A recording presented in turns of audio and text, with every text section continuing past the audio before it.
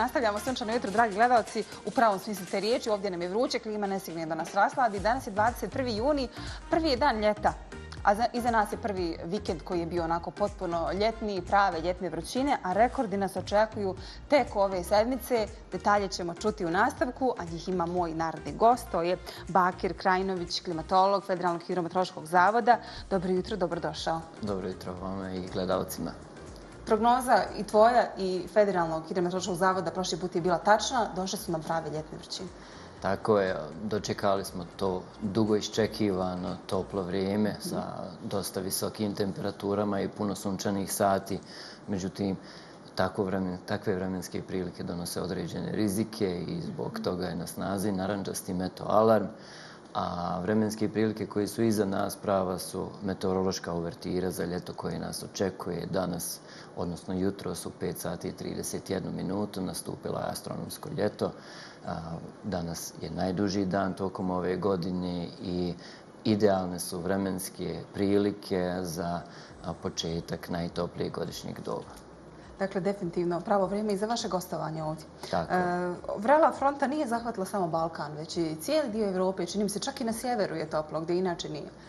Pa zrak koji utiče na naše vremenske prilike u proteklih par dana, ali i nastavit će se u narednom periodu, dolazi nam sa sjevera Afrike.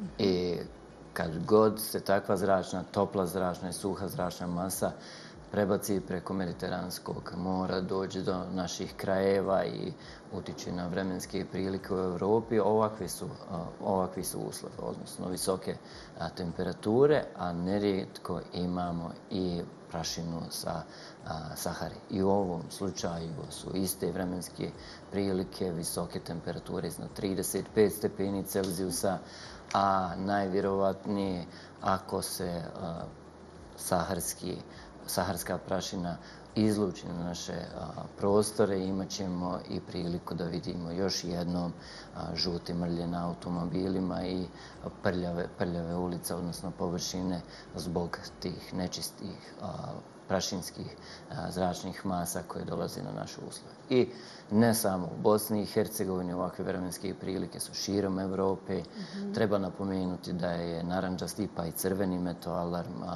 u nekim prostorima Evrope aktivan zbog visokih temperatura zraka. Iako on ne, ne znači da su u drugim krajevima više temperature, ali na primjer u Poljskoj je crveni metoalarm. Oni nisu navikli na ovako mhm. visoke temperature i na njih ovo njima donosi veći rizik. Zbog toga je i upozorenje većeg ranga.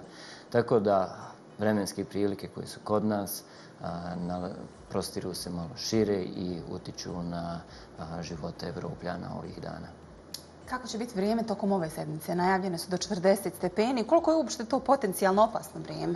Hercegovine je nekako navikle. Kod njih će biti još više. Jeste. Vremenske prilike, slične vremenske prilike zadržat će se do kraja sedmice. Mhm. Vrhunac ovog toplotnog talasa je u srijedu i četvrtak kada se očekuju visoke dnevne temperature. Ali ono, ono što će prouzrokovati veći problem jesu visoke noćne temperature.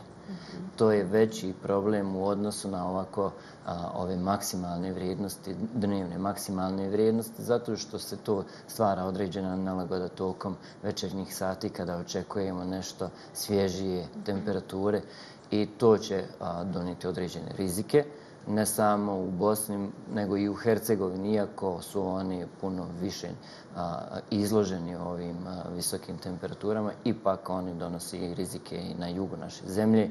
Tako da tokom ove sedmice obratimo, moramo obratiti pažnju na metoalarm koji je naranđaste boje, dakle vremenske prilike nisu neobičajne. Svako ljeto mi imamo jedan top ili više toplotnih talasa, ali uvijek donose određene rizike i probleme osjetljivim osobama, ali ne samo po ljudsko zdravlju, nego donose određene probleme u drugim sferama našeg života, prvenstveno u poljoprivredi, ali i u normalnom odvijanju svih ostalih aktivnosti koje imamo. Tako da od 12 do 5 tokom dana obratimo pažnju da se ne izlažimo previše suncu, UV zračenje ekstremno visoko, što donosi još jedan rizik. Tako da na osnovu ove prognoze možemo planirati aktivnosti i što manje kretanje na otvorenom u tom najsunčanijem dijelu dana od 12 do, do, do, 5, do 5 sati. Nakon toga možemo se vratiti normalnom odvijanju života. Dakle, prvi toplotni val Bosni i Hercegovine. Dobro nam došao.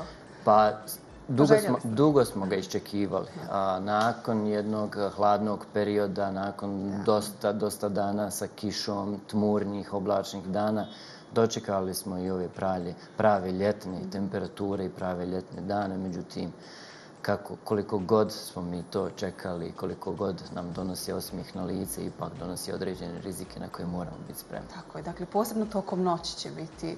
zeznuto, da tako kaže, nema vjetra, bit će toplo, koliko i tokom dana? Pa vjetar E, i onaj što će biti, a bit će dosta južnog, iz južnog smjera nam dolazi, pa će i on dodatno, dodatno pogoršavati situaciju i dodatno će otežavati ovako, ovako teške vremenske uslove. Tako da i nisu to ekstremni uslovi na koje moramo strepiti, od kojih moramo strepiti, ali zaštititi se i pripremiti se na tome svakako treba. Dakle, šeširi, kačketi, lepeze, voda, svakako. Obavezno voda, što više vode, to bolje i na taj način se štitimo od ovakvih vremenskih uslova. E, Vakre, neka prognoza kaže da će ovako biti do negdje 26. juna, je li tako? Jeste i meto alarm, a boje aktivan je do 26. juna. Nakon a, tog dana slijedi a, jedan vid a, osvježenja, ali osvježenja u ovim večernjim satima, odnosno u tim minimalnim temperaturama koji će se spustiti u neke normalne granice. One dnevne će i dalje ostati visoke i dalje ćemo mi mjeriti iznad 30 stepeni Celzijusa širom zemlje. Međutim, u tom večernjem dijelu dana, odnosno jutarnjim satima, temperature će biti nešto niže nego ovih dana, pa će to dodatno poboljšati uslove i olakšati nama živote tom periodu dana kada očekujemo i osvježenje i imat ćemo ga. A u narednom baš i ne, jer će temperature biti i tokom noći vrlo visoke i zbog toga je nalagoda zbog ovih na predstojećih vremenskih uslova. Najgore će biti definitivno Hercegovcima. Jeste, oni jesu navikli na ove vremenske mhm. uslove, ali bez obzira koliko god su navikli na visoke temperature, ipak donose određene rizike i svakako da će biti nelagode a, e, i na samom jugu naše zemlje. Ali oni koji su na moru, oni će uživati u, u, u visokim temperaturama, sunčanom vremenu, tako da je a, svima onima koji su na našem a, moru, odnosno u Neumu, moći će uživati idealnim uslovima za, za kupanje. Uz kreme sa faktorom. Obavezno. Bakre, hvala lijepo na, na izvojenom vremenu za gledalce Sunčanog jutra. Hvala vama na pozivu i lijep pozdrav. Vidimo se za neki možda novi toplotni val tokom ljeta.